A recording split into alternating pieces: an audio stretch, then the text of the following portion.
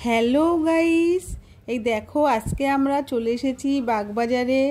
তো তোমরা সবাই কেমন আছো?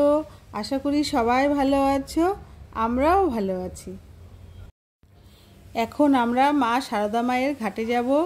তো সন্ধ্যা আরতি দেখার জন্যই আমরা এসেছি। তো চলো আমাদের সাথে। এই গঙ্গার ঘাটে শান্ত পরিবেশে আসতে কিন্তু খুবই ভালো লাগে। আর মন চঞ্চল থাকলেও দেখবে এখানে এসে বসে থাকলে সত্যি খুব মনটা শান্ত হয়ে যায়। দেখো মা সারদা মায়ের মূর্তি, এখানে অনেকে মোমবাতি ধরিয়েছে। আর দেখো বোট যাচ্ছে, আর অন্ধকার হয়ে গিয়েছে চারিদিকে। খুবই অপূর্ব দৃশ্য। দারুণ লাগছে দেখতে, দেখো।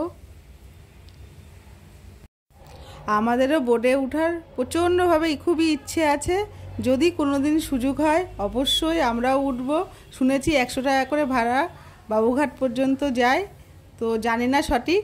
তো যদি সুযোগ হয় তখন আমরা অবশ্যই উঠব। কিন্তু এখানে যার জন্য এসেছিলাম সেটাই দেখতে পেলাম না। খুব ইচ্ছে ছিল সন্ধ্যা আরতি দেখব। তো কি বলতো, আমাদের আসতে একটু লেট হয়ে গিয়েছে, দেরি হয়ে গিয়েছে সেই কারণে আমরা দেখতে পেলাম না। তো আবার আসব। এখন আমরা এখানে একটু বসলাম। দেখো কি মানে এত সুন্দর শান্ত পরিবেশ। আমার তো খুবই ভালো লেগেছে। এখন আমরা এখান থেকে বেরিয়ে পড়লাম। তো এসেছিলাম সন্ধ্যা আরতি দেখতে, সেটা দেখা হলো না। মনটা একটু খারাপ হয়ে গেল, ঠিক আছে, আবার আসব অন্য কোনো দিন। এ দেখো বাগবাজার স্টেশন, মেন গেট এটাই। আর এটা হচ্ছে শীতলা মন্দির। শীতলা ঠাকুর, আমি এই রূপে দেখিনি কোনো দিন মাকে। এই দেখলাম, আর দেখো বাগবাজারে জগন্নাথের মন্দির। কলকাতার বুকে এই পুরীর মতো জগন্নাথের মন্দির দেখে ভীষণ ভালো লাগল। আর জানো তো, এখানে ভোর সাড়ে পাঁচটার সময় মঙ্গল আরতি হয়, আর বেলা বারোটার সময় ভোগ নিবেদন হয়, আর সন্ধ্যা সাড়ে সাতটার সময় সন্ধ্যা আরতি ও ভোগ নিবেদন হয়।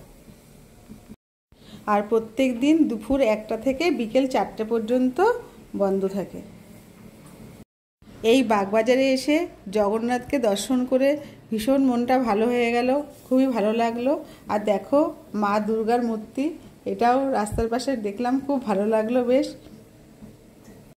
আমাদের হালকা খিদেও পেয়ে গিয়েছিল, তো আমরা এখানে চিকেন কাবাব খেয়েছি, তো বেশ ভালোই ছিল।